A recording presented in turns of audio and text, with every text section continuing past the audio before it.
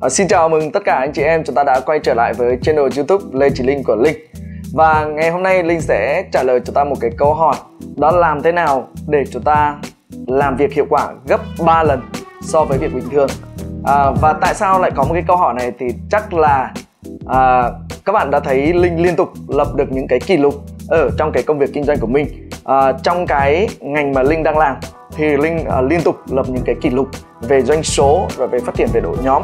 Và khi mà mọi người thấy là Linh làm bất kỳ một việc gì đó thì Linh đều làm với tốc độ rất là nhanh. Và cùng một ngày đó cùng một cái khoảng thời gian đó thì Linh làm việc hiệu quả hơn rất nhiều so với anh em đồng nghiệp làm cùng với Linh. Vậy thì bí kíp ở đây đó là gì? Thì Linh muốn chia sẻ một cái như thế này anh chị. À, cái đầu tiên mà để chúng ta làm việc hiệu quả làm việc nhanh ấy, thì có ba thứ mà chúng ta cần phải chuẩn bị tốt. Cái đầu tiên đó là chúng ta cần phải có sức khỏe bởi vì rất nhiều anh em chúng ta cứ tập trung vào việc đó là chúng ta phải có cái này hay là chúng ta có bí kíp này bí kíp kia. Nhưng chúng ta phải hiểu một điều thế này, con người chúng ta khi mà nó không được khỏe mạnh đấy, thì chúng ta sẽ không làm việc hiệu quả được.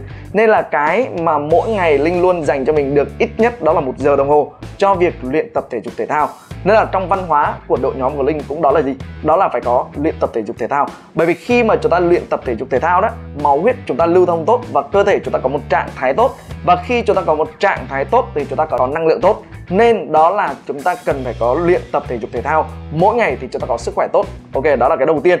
Và cái thứ hai, đó là mỗi buổi sáng linh đều vệ sinh cái tâm hồn của mình bằng cách đó là mình ngồi thiền bằng cách đó là mình hình dung về mục tiêu và sau đó mình viết về những cái mục tiêu của mình trong ngày hôm nay. Có là Linh có một cái thói quen đó là viết về top 5 Top 5 có là năm cái mục tiêu trong cuộc đời, năm cái mục tiêu 5 năm năm cái mục tiêu trong một năm năm cái mục tiêu trong một tháng và năm cái mục tiêu trong tuần và năm cái mục tiêu của ngày hôm nay. Vậy thì ngày hôm nay Linh sẽ tập trung vào cái năm việc quan trọng nhất mà mình cần phải làm. Và cứ buổi sáng bắt đầu làm việc thì Linh sẽ theo thứ tự ưu tiên việc quan trọng đầu tiên là Linh viết cái danh sách đầu tiên á, thì mình phải làm xong trong cái phần buổi sáng. Và xong cái việc đầu tiên rồi thì mình mới làm bước việc thứ hai. Việc thứ hai xong rồi bắt đầu mình mới làm việc thứ ba. Có là mình hoàn thành từng việc một bởi vì linh thấy là có rất nhiều anh em đó chúng ta làm không hiệu quả đấy bởi vì chúng ta đang làm việc này chúng ta làm dở chúng ta lại đọc làm cái việc khác việc khác chúng ta đang dở chúng ta lại làm việc khác giống như việc mà chúng ta đọc sách cũng thế cuốn này chưa đọc xong mới đọc được 5 10 trang chúng ta đã chuyển sang cuốn thứ hai cuốn thứ hai được 5 10 trang chúng ta lại đọc cuốn khác nên là chúng ta có thể đọc rất nhiều cuốn sách nhưng cuối cùng đó là không có một cuốn nào hoàn thiện và cuối cùng là kiến thức mà để chúng ta nắm sâu ở trong đó nó cũng không có nhiều có là chúng ta mỗi cái một chút mỗi cái một chút và trong cái công việc của chúng ta cũng thế nên là người ta mới nói là cách chúng ta làm một việc, đó là cách chúng ta làm mọi việc. Nên nguyên tắc của linh đó là gì? Tức là mình phải làm hoàn thành công việc, chứ không phải làm nhiều việc. Linh làm hoàn thành công việc, chứ không phải làm nhiều việc. Nên là mỗi ngày linh chỉ tập trung vào một việc cái quan trọng đầu tiên xong đã, bắt đầu mới làm việc thứ hai.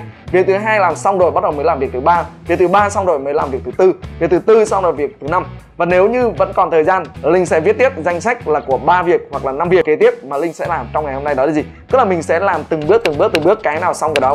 Cái nào xong cái đó thì chúng ta sẽ hoàn thành rất là nhanh và rất là hiệu quả. Ok cho anh chị? Và một việc kế tiếp nữa.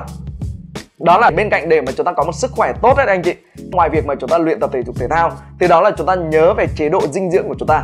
Bởi vì để có sức khỏe tốt chúng ta có ba yếu tố. Cái đầu tiên đó là về cái tinh thần. Thì buổi sáng là linh đã làm cái thiền về biết ơn quy định về biết ơn rồi viết về top 5 cái thứ hai đó là mình uh, luyện tập thể dục thể thao. Và cái thứ ba đó chính là cái việc mà chúng ta phải dinh dưỡng. Chúng ta phải có một chế độ dinh dưỡng tốt ấy thì lúc đó chúng ta sẽ có một cơ thể tốt và trạng thái năng lượng tốt. Và khi chúng ta có một cái cơ thể tốt thì chúng ta làm việc nó hiệu quả. Bởi vì đầu óc chúng ta minh mẫn đúng không trí tuệ chúng ta minh mẫn thì lúc đó chúng ta làm mọi việc nó sẽ hiệu quả hơn và sau đó thì bằng cách là chúng ta làm từng thứ tự ưu tiên công việc từng việc một từng việc một từng việc một thì lúc đó công việc chúng ta rất hiệu quả vậy thì chúng ta sẽ đúc kết lại đó là gì có hai cách để chúng ta làm việc hiệu quả thứ nhất là chúng ta cần phải có một cái cơ thể tốt cơ thể tốt bằng việc đó là chúng ta phải có tinh thần tốt này thứ hai đó là chúng ta phải có về dinh dưỡng tốt và thứ ba đó là chúng ta luyện tập thể dục thể thao rồi đó là cái yếu tố đầu tiên là về tinh thần cái thứ hai đó là chúng ta viết ra danh sách 5 cái công việc quan trọng ngày hôm nay.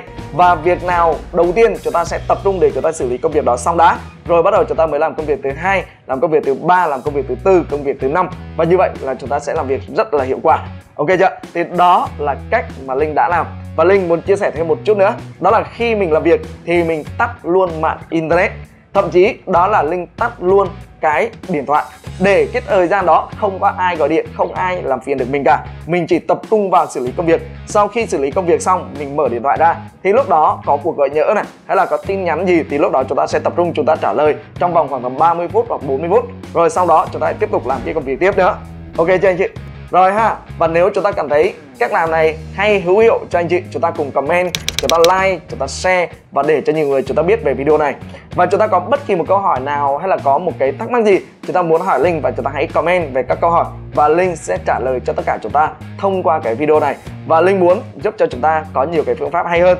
Bởi vì, và những cái gì mà Linh chia sẻ đó là những gì mà Linh đang làm và Linh thấy hữu hiệu và có thể là chúng ta sẽ không thấy nó ở bất kỳ một cuốn sách nào cả. Bởi vì đây là cái quá trình tích lũy và trải nghiệm linh áp dụng và linh thấy hiệu quả. Thì linh sẽ chia sẻ cho tất cả chúng ta ở đây. Rồi, hãy nhớ bấm vào subscribe cái kênh của linh và hãy nhớ bấm vào nút chuông, bấm vào nút chuông. Rồi, xin chào, hẹn gặp lại tất cả anh chị em nha.